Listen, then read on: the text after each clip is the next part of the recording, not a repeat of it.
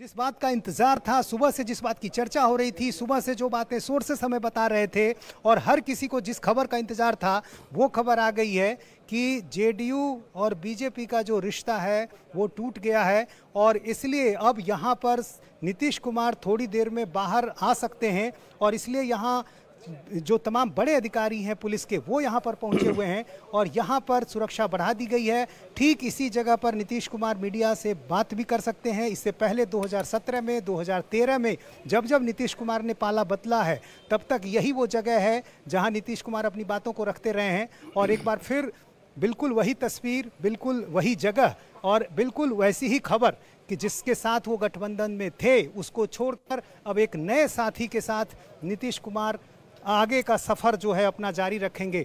तो जो शुरू से बातें कही जा रही थी, अब वो खबर आ चुकी है और बीजेपी को इसी फैसले का इंतज़ार था।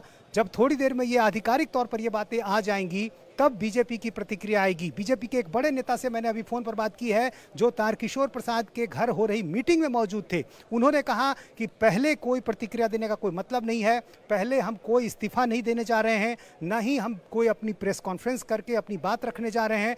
हमें इंतज़ार है जेडीयू के फैसले का कि नीतीश कुमार क्या कुछ कहते हैं और उसके बाद ही बीजेपी अपनी तरफ़ से पत्ते खोलेगी अपनी बातों को रखेगी। लेकिन फ़िलहाल की इस वक्त की जो बड़ी खबर कि जेडीयू की मीटिंग में वो फैसला ले लिया गया है। ठीक है नीतीश सबसे बड़ी खबर आपने दे दी कि बिहार में बीजेपी जेडीयू का गठबंधन टूट चुका है यानी बीजेपी और जेडीयू की सरकार गई। और अब आरजेडी और और जेडीयू की सरकार मिलकर के बनेगी इसमें कोई संशय नहीं है। एक बार पवन नारा के पास चलते हैं। पवन नारा जो है राबड़ी देवी के आवास के बाहर है। देखिए जेडीयू की तरफ़ से तो फैसला कर लिया गया कि गठबंधन तोड़ दिया गया है। अब मुझे बताइए कि आरजेडी की तरफ़ से भी जल्द किसी औपचारिक घोषणा की उम्मीद करें? जी, बिल्कुल, इसमें अभी वक्त लगेगा क्योंकि अब जब तक राज्यपाल से मुलाकात होकर बयान सार्वजनिक तौर पर नहीं आ जाता, उसके पहले यहाँ राबड़ी देवी के आवास से कोई ऐलान हो, इस बात की संभावना कम है। लेकिन जरा तस्वीरें आपको दिखा देते हैं। यहाँ समर्थकों का पहुँचना शुरू हो गया है और आरजेडी के बाल समर्थक से लेकर युवा समर्थक यहाँ पहुँचे हुए हैं। भीड़ लगातार बढ़ रही है। भीड़ जब दरवाजे पर बढ़ने लगे तो समझ लीजिए सत्ता का योग है, क्योंकि ये लोकतंत्र की असलियत है कि जहाँ सत्ता, वहाँ भीड़, क्योंकि चुनाव होने के बाद सत्ता का केंद्र ही तय करता है कि किसके साथ भीड़ है। जहाँ कल एक गाड़ी खड़ी थी, यहाँ गाड़ियों का काफिला है, विधायक उतने ही है, लेकिन सत्ता बदलते ही समर्थकों में जोश आ गया है और वो ज़मीन पर पहुँचे हैं। लेकिन एक बात तय है कि तेजस्वी यादव इस पूरी सिचुएशन में उतावले नहीं दिखना चाहते। पहले मुख्यमंत्री की तरफ़ से बयान आएगा उसके बाद तेजस्वी सामने आकर कुछ कहेंगे। उन्होंने कहा है कि मेरे अलावा कोई भी इस पूरे मसले पर बयान ना दे इसीलिए जितने भी विधायक यहाँ पहुँचे कोई भी मीडिया के सामने नहीं बोला एक शब्द तक नहीं बोला पार्टी का एजेंडा क्या है आज की इस बैठक का इसके बारे में भी नहीं बोला तो आप समझ सकते हैं। वेट एंड वॉच यहाँ आरजेडी की तरफ़ से भी है क्योंकि प्लान सेट है पूरी अब जो आपने तस्वीर अभी दिखाई जरा हम बता दें दर्शकों को कि जैसे अब ये खबर आ चुकी है कि आरजे की जेडीयू ने अपना गठबंधन बीजेपी के साथ तोड़ दिया है राबड़ी देवी के घर के बाहर भारी संख्या में आरजेडी कार्यकर्ता जुटना शुरू हो गए हैं। जश्न का माहौल है, उन्हें पता है उनकी सरकार आ रही है। राबड़ी देवी के घर के बाहर आरजेडी के कार्यकर्ताओं का, उनके समर्थकों का जुटना शुरू, बधाइयों का सिलसिला भी शुरू हो चुका है। आप देख रहे हैं इन तस्वीरों में आरजेडी के कुछ नेता आपको दिखाई दे रहे हैं राबड़ी देवी के घर के बाहर। तो वहाँ अब जश्न की तैयारियाँ शुरू हो गई। विक्ट्री साइन देखिए, दिखाया जा रहा है।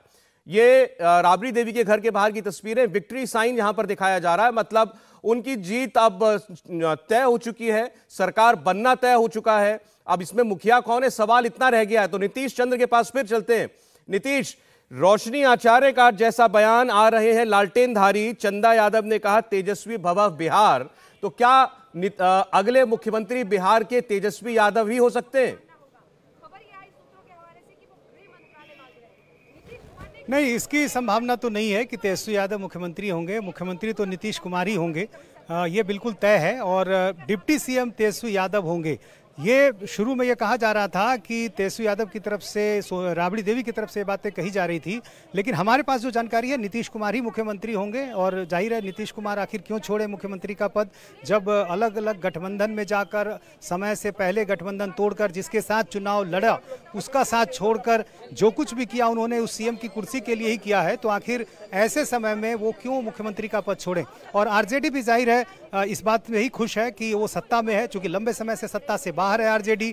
थोड़े दिनों तक नीतीश कुमार ज़रूर मिला था, लेकिन एक बार फिर जब ये मौका मिल रहा है, और अभी अगला चुनाव 2025 में होना है, विधानसभा चुनाव का लंबा वक्त है, तीन साल का वक्त है तो ऐसे में आरजेडी इस बात से ही खुश है कि एक बार वो फिर सत्ता में साथ होगी। ये अलग बात है कि तेजस्वी चुनाव में जिस तरह से लोकप्रियता हासिल की थी, वो नीतीश कुमार के खिलाफ ही हासिल की थी, जो एंटी इनकमेंसी नीतीश कुमार की, उसके खिलाफ तेजस्वी यादव युवाओं के बीच में काफ़ी लोकप्रिय हुए थे। आपने देखा होगा चुनाव में किस तरह से उनकी भीड़ उमर रही थी। लेकिन वही तेजस्वी यादव अब उसी नीतीश कुमार के साथ सरकार का हिस्सा बनेंगे, जिनके खिलाफ उन्होंने क्या कुछ नहीं कहा। ज़ाहिर राजनीति में इन बातों का कोई मतलब अब नहीं रह गया है।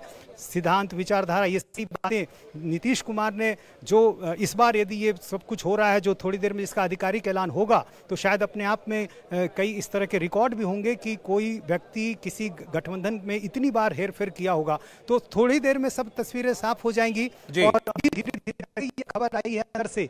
यहाँ पर आप देखिए कितनी भीड़ हो गई। एक बार हम आपको तस्वीरें भी दिखा देते हैं कि किस तरह से ये जो मार्ग मुख्यमंत्री आवास का यहाँ पर चारों तरफ़ कितनी भीड़ हो गई है। हर तरफ़ समर्थक कार्यकर्ता जिसको भी पता चल रहा है वो यहाँ पर पहुँच जा रहा है और जेडीयू के बैनर झंडे के साथ भी लोग विक्ट्री साइन दिखाकर, हाथ हिलाकर बता रहे हैं।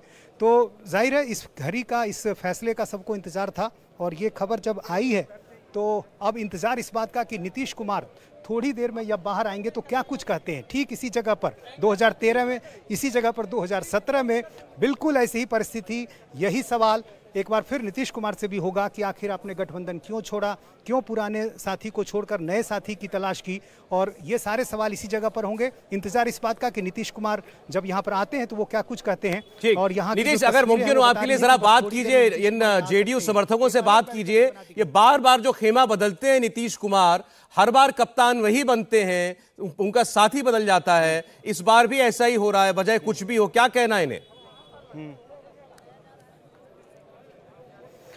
ये बताइए आप लोग जेडीयू के हैं, आ रहा है तो अब क्या लग रहा है, आपको खबर आ रही है कि गठबंधन टूट गया तो बार बार जो इस तरह से आप पाला बदली करते हैं तो मुश्किल तो नहीं होगी जवाब देने में? पूछेंगे लोग आपसे। कोई मुश्किल नहीं होगा। नहीं कैसे मुश्किल होगा भैया? क्या अब ये राजनीति में इन सब बातों का कोई मतलब? घर में रहिए मुश्किल नहीं होगा। क्या ये सवाल बनता? क्या? बार बार गठबंधन बदलना नीतीश नहीं ये कहीं का कोई मतलब इसमें क्या मजबूरी रही है? वो तो मिलने से ही मतलब कुछ हो सकता था ना इसमें कि नीतीश कुमार जी के मन में क्या है नहीं है? ये क्या चाह रहे हैं तेजस्वी जी के साथ बहुत आराम से सरकार चल आम आदमी है ये। सवाल तो अभी से शुरू हो गया। मुश्किल होगा। ठीक ठीक। देखिए यहाँ सवाल अभी से उठना शुरू हो गए नीतीश मैं आपके पास आता हूँ। लेकिन ज़बरदस्त खुशी इस वक्त आरजेडी के खेमे में है। पवन नारा इस वक्त राबड़ी देवी के घर के बाहर मौजूद है। पवन आप जरा बात कीजिए लोगों से। एक बार फिर आ, सरकार का हिस्सा बनेगी आरजेडी तेजस्वी यादव। अभी उप मुख्यमंत्री होंगे मुख्यमंत्री होंगे कह नहीं सकते। हालाँकि नीतीश का मानना है कि जो भी डील हुई है उसमें मुख्यमंत्री का पद नीतीश कुमार ही अपने पास रखेंगे। ये बात सामने आ रही है। जाएँगे तो बस हो गया पवन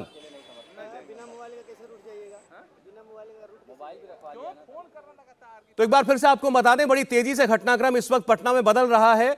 जेडीयू ने अपनी बैठक में ऐलान कर दिया है कि हम बीजेपी के साथ अपना गठबंधन तोड़ रहे हैं। आपके सामने तस्वीर मुख्यमंत्री आवास की है जहाँ पर थोड़ी देर के बाद हो सकता है नीतीश कुमार बाहर आए। उन्होंने अपने साथियों से मना किया, कोई बात नहीं करेगा, लेकिन नीतीश चंद्र हमारे सहयोगी, उनके पास ये सूचना अंदर की बैठक से आ चुकी है कि गठबंधन तोड़ने का ऐलान नीतीश कुमार ने अंदर कर दिया है, अपनी पार्टी के विधायकों और सांसदों के सामने। आरजेडी के खेमे में जश्न है, वहाँ मिठाई बट रही है, विक्ट्री साइन दिखाया जा रहा है। ज़ाहिर है कि अब उन्हें ये निश्चित है कि बीजेपी की सरकार गई नीतीश कुमार के साथ, अब वो सरकार का हिस्सा बनेंगे। गठबंधन गया है टूट तो ये जो आपको हमारी स्क्रीन पर दो तस्वीरें इस वक्त दिखाई दे रही हैं, आंकड़ों की, इसको भी हम आपको बता दें। बाई तरफ़ जो तस्वीर आपको दिखाई दे रही है, बीजेपी सतहत्तर, जेडीयू पैंतालीस और हम चार, कुल मिलाकर 126 अब ये हो गई है बीते दौर की बात, क्योंकि ये गठबंधन टूट चुका है।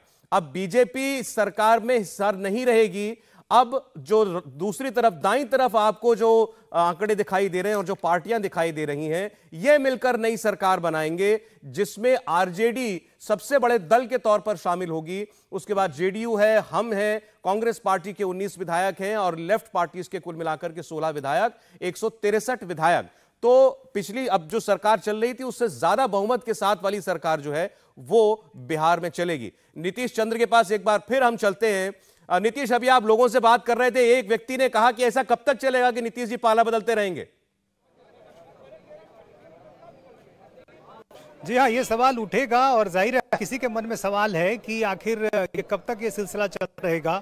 और जिस नीतीश कुमार से राजनेता की छवि शुरुआती दिनों में बनाई थी जो सुशासन बाबू के नाम से जाना जाते थे जो एक विचारधारा को साथ लेकर चलने की बात करते थे कर्पूरी ठाकुर लोहिया और तमाम ये बातें। लेकिन अब तो जिस तरह से पिछले कुछ दिनों में उन्हें बार बार गठबंधन बदला है तो निश्चित रूप से जो उनकी साख है ज़रूर उस पर सवाल उठेगा। ये सवाल हमने जेडीयू के नेताओं से भी कई बार पूछा। उन्होंने कहा कि ये साख जो सूत्रों के हवाले से हम कह रहे हैं उन्होंने कहा ये साख बहुत पहले ही खत्म हो चुकी है इसलिए अब यदि फिर से एक बार करते हैं तो कोई इसका असर नहीं पड़ेगा। तो अब ज़ाहिर है जिस तरह से बार बार इस तरह की खबरें आई हैं उसका असर ज़रूर पड़ेगा। और देखिए जो हमारे पास जानकारी है कि ये सब कुछ नीतीश कुमार ने पहले ही प्लान कर लिया था। ये कोई अचानक अचानक नहीं हुआ है।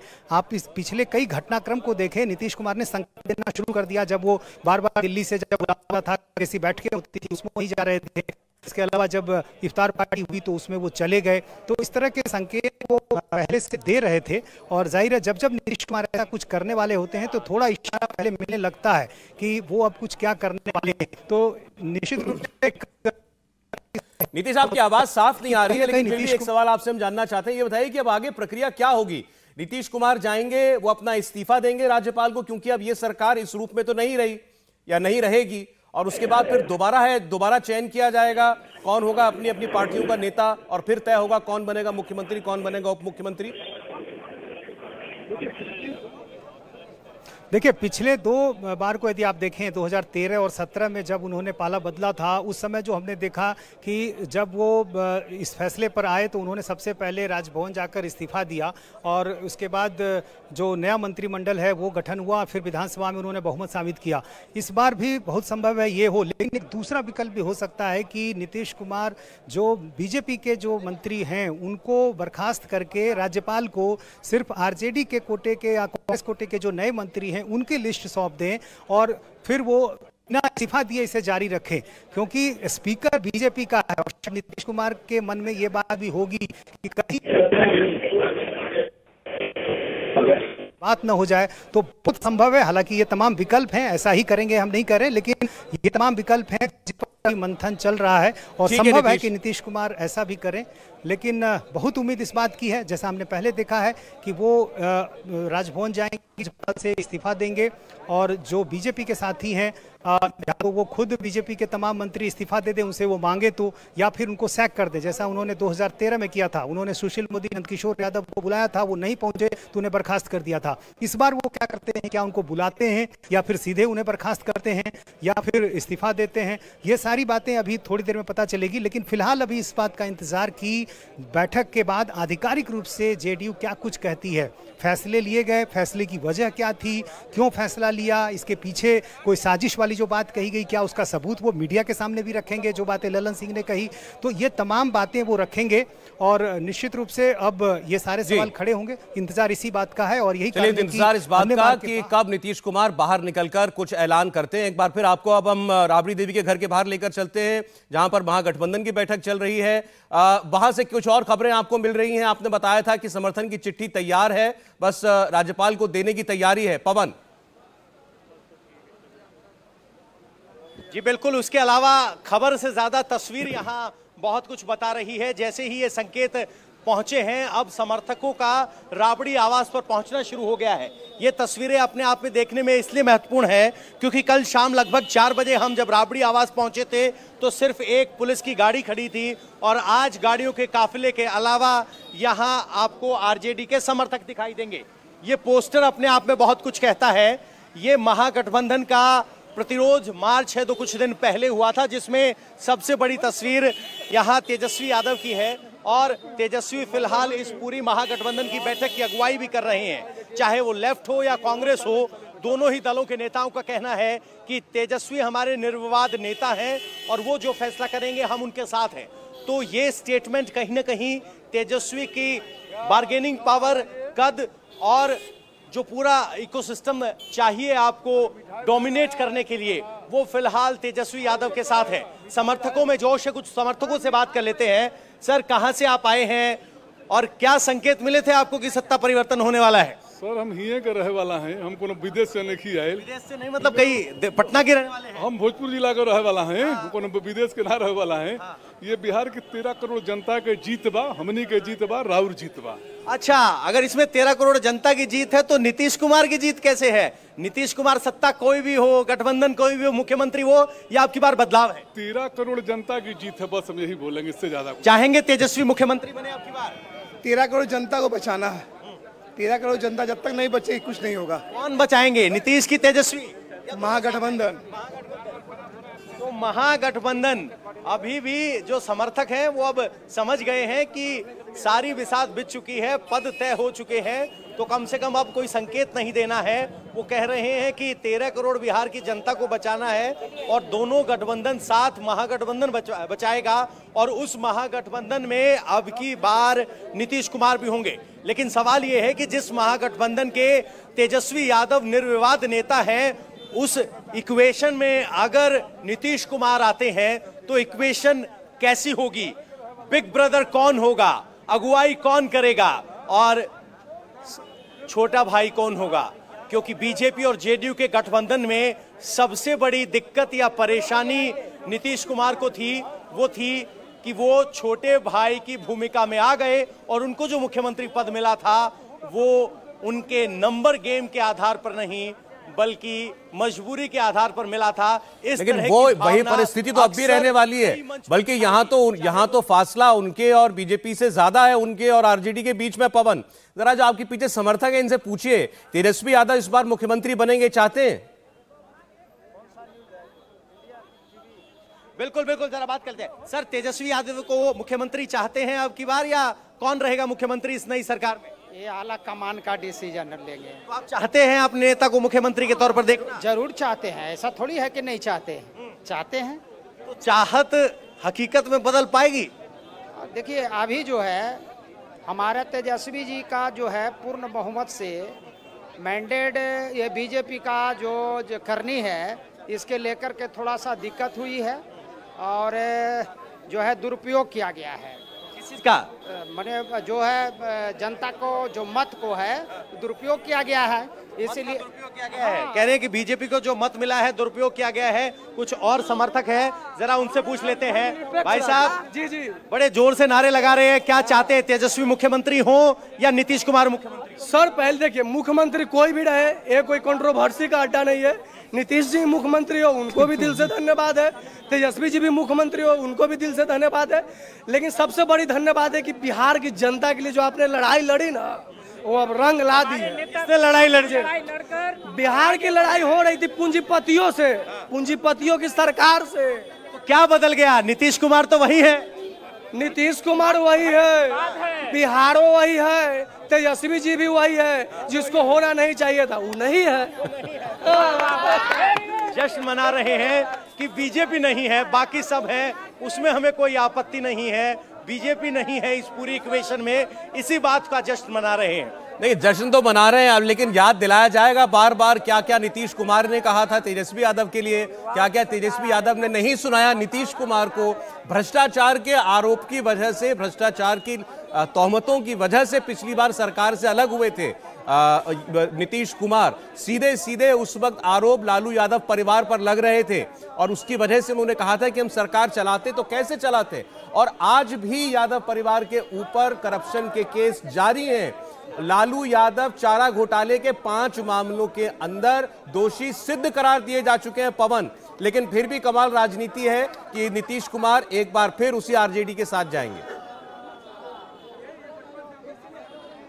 जी, बिल्कुल बिल्कुल, सौरभ, एक बात हमें गौर करनी चाहिए। हाल फ़िलहाल की राजनीति जो 20-25 साल से हम समझने जब से लगे हैं और देखने लगे हैं, राजनीति में भविष्य पर सबकी नज़र होती है। पीछे मुड़कर दिए गए बयानों गठबंधनों और कर्मों को लेकर राजनीति में चर्चा कम होती है। और जब फ़ायदा हो, जब हित सध रहे हो तो बहुत सी ऐसी चीज़ों को लेकर नरमी खींची जाती है। ललन सिंह, जेडीयू के अध्यक्ष हैं। ये वही ललन सिंह है जो कहते थे कि नीतीश कुमार के पेट में भी दांत है।